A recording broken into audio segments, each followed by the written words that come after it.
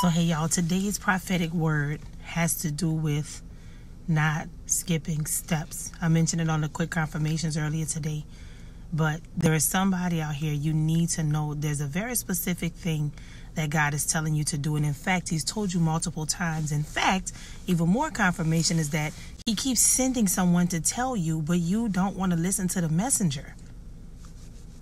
He keeps sending the person to tell you, but you just don't want to receive it because of who it's coming from.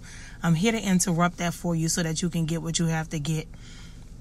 Don't skip a step. Don't ignore that person. God is specifically using that person to tell you for a reason. The enemy also knows that you will disregard that person, and God knows it too.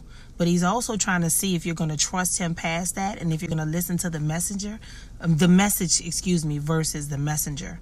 Do not skip the step. And it's coming from a person that you least expect or don't want it to come from.